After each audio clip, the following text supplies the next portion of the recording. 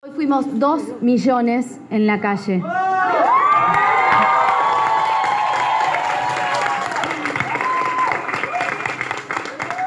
Ayer, a media tarde, nos enteramos del cambio de horario del inicio de la sesión de hoy para tratar la ley de interrupción voluntaria del embarazo.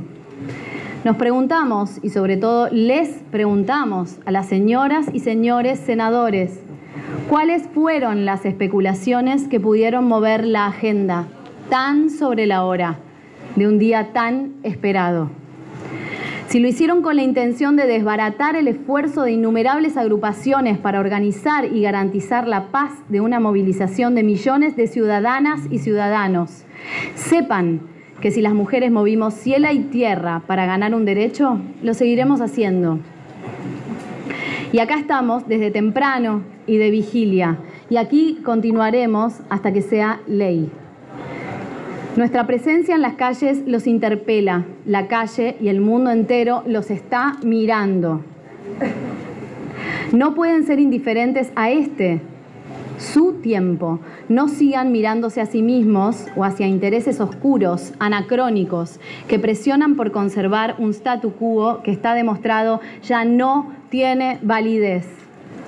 No sean indiferentes al masivo e indudable apoyo internacional que está recibiendo el tratamiento y la aprobación de la ley. Frente a embajadas argentinas y en las plazas de Francia, Inglaterra, Brasil, España, Alemania, Suecia, Austria, Estados Unidos, Holanda, Bélgica, Suiza, Chile, Bolivia, Perú, Colombia, México y Puerto Rico, entre otros países, ciudadanos del mundo se han concentrado a la espera del resultado de la votación. La imagen de la contratapa de ayer del New York Times, el diario más influente del planeta, es elocuente. Refleja la desesperación de una mujer que frente a la imposibilidad de acceder a los recursos de la salud pública que debería protegerla, recurre a una percha de alambre o a una aguja de tejer para deshacerse de un embarazo que necesita interrumpir, a riesgo de morir, como sucede en numerosas ocasiones. Y como lo seguirá haciendo si la ley no la ampara. Junto a esa imagen, una palabra, adiós. Es que ya es tiempo de que esta situación trágica llegue a su fin. Ustedes tienen la, potestad de hacerlo. Esta ley no va a obligar a nadie a abortar. Pedimos que exista la opción de hacerlo. La maternidad será deseada o no será. La maternidad es un acto de responsabilidad. La decisión de no ser madre también lo es. Por primera vez en nuestra historia, este proyecto de ley logra su tratamiento en el Senado.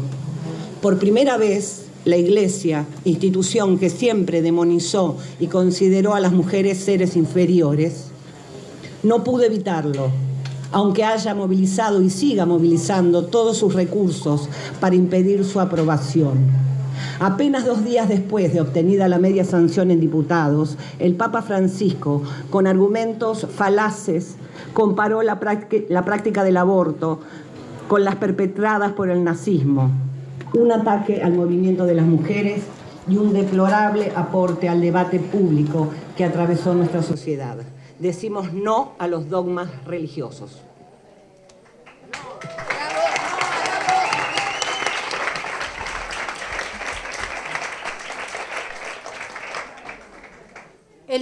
Los está mirando. Deben dejar de lado sus creencias personales y ponerse al servicio de toda la población. A los que siguen dudando y especulando, deben escuchar al pueblo a los que se dieron a las presiones, están a tiempo de dar este paso histórico. Demandamos a los jefes de bloque, Luis Naidenov de Cambiemos, Miguel Ángel Pichetto del Partido Justicialista. Demandamos a Cristina Fernández de Kirchner del Frente para la Victoria que influyan activamente desde sus respectivas bancas sobre aquellos senadores que se manifestaron en contra y les exijan el voto positivo. ¿Se puede tolerar que el senador salteño Urtubey, en su exposición de hoy, diga que la violación no es necesariamente un hecho violento?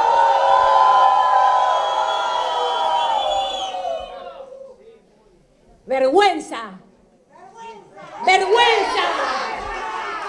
Que la senadora Valverde de San Juan alegue que no tuvo tiempo de leer el proyecto.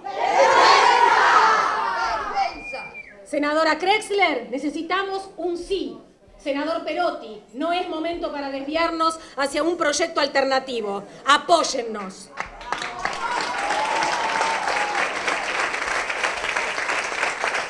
¿Para qué? ¿Para qué demorar? ¿Para qué demorar?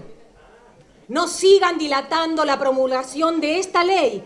Lo único que consiguen es que nuevas vidas se pierdan, como la de Liliana Herrera, la joven de 22 años, que dejó dos hijos y murió en Santiago del Estero el 4 de agosto tras someterse, como cientos de miles de mujeres, a un aborto clandestino.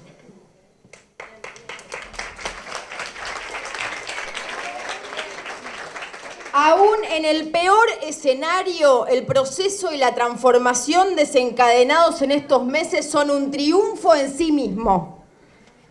Los mezquinos y cobardes intereses de los legisladores y funcionarios de turno no podrán detener nuestra lucha.